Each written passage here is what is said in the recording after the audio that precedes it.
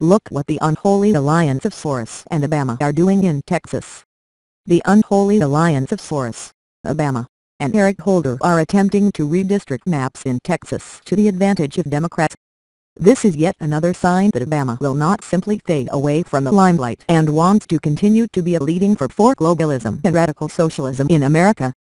In an opinion piece published in Saturday's Washington Examiner, Texas Governor Greg Abbott issued a warning to the GOP that Democrats in Washington, D.C. are plotting to pour hundreds of millions of dollars in state and local elections across the country in an effort to buy back power. Abbott pointed a finger at hedge fund billionaire George Soros, who is helping to fund the National Democratic Redistricting Committee so that it can't take away control from voters, noting that congressional redistricting will go into effect in 2021 when booming conservative states such as Texas will gain seats in the U.S. House of Representatives.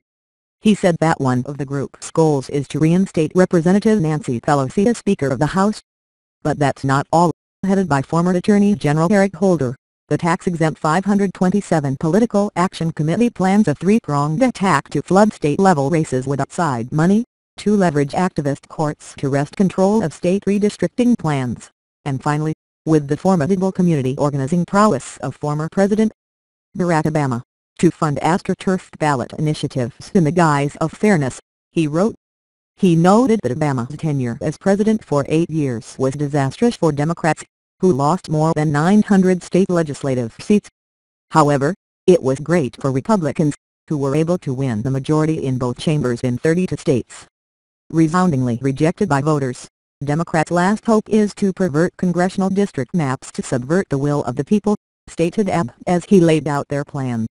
Every 10 years, states redraw their legislative and congressional districts based on census population changes, he explained, noting that because people are known to move to more successful communities, Texas has grown more than any state in the nation. And many of those new Texans once lived in Nancy Pelosi's California.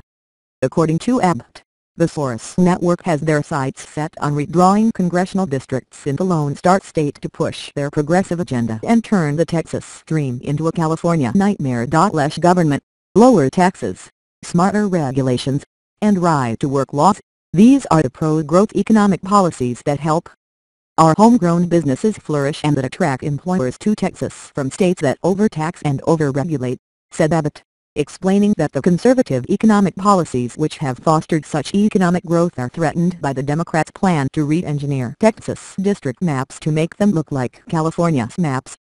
In fact, the Democrats are looking to redraw hundreds of congressional districts across the nation, stated Abbott, adding that Soros is no stranger to election meddling.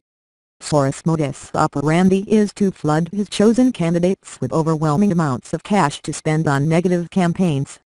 In 2016, he reportedly spent nearly $11 million on a dozen local district attorney races, including one in Harris County, Texas, said Abbott, noting that most of his selected candidates won. What Obama could not accomplish while in office, turning red states blue, he will attempt to do now through the machinations of this supergroup a partisan focus on becoming a former president, said Abbott, who vows to keep Texas a bright, vibrant red and will run for re-election. I'm running for re-election to make sure that San Francisco liberals such as Pelosi will not be running our great state. I'm committed to preserving Texas liberty, and I will continue to fight back against the liberal agenda that threatens the future of our nation, he stated, adding, the GOP needs to take the Soros network and the Holder, Obama, and Pelosi alliance seriously.